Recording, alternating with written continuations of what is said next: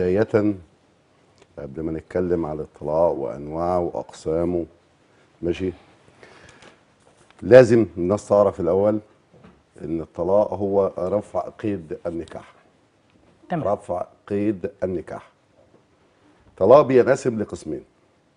القسم الأولاني وهو الطلاق البائن اللي بيوقعه الزوج بالإرادة المنفردة. يبقى اما نيجي نقسم الطلاق هيبقى في طلاق بيقع من الزوج بالإرادة المنفردة له وفي طلاق اللي هو بحكم المحكمة اللي هنتكلم في أنواعه باستفاضة واحدة واحدة. يعني الطلاق الأول الأول اللي هو الطلاق البائن اللي هو الزوج بياخد كان باين أو راجع ما أنا هتكلم فيها يا أحمد.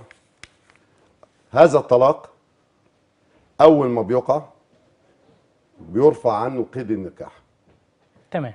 بمعنى حضرتك بتسأل والله هو أول ما يقول إنها طالق أنت طالق فعلا بتبقى طالق ويرفع قيد النكاح.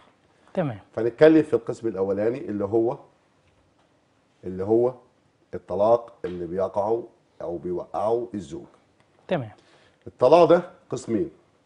طلاق بائن بيبقوا الطرفين قصاد بعض وفي الحالة دي في نفس الحال بيرفع قيد النكاح بينهم هما الاثنين ولا يحل البعض إلا بزيارات جديد. تمام. ده والطلاق الثاني طلاق الطلاق. الرجعي ده بيبقى من الزوج بالإرادة المنفردة له. مم. طلاق رجعي. بيروح لوحده للمأذون وبيطلق مراته طلاق رجعي. طول ما هي في فترة العدة يحق للزوج إن هو يرجعها دون موافقتها أو دون رضاها. خلصت فترة العدة يبقى مش من حق الزوج إن هو يرجعها بعصمته إلا بموافقتها وزواج جديد. تمام. طيب في طيب. نقطة آه، عشان سؤال بس بسيط بكلم مع السادة حضرتك ال- ال- المشاهدين. اللي أنا بقوله ده كله رجال القانون والسادة المحامين كله حافظينه وعارفينه أحسن مني كمان. تمام.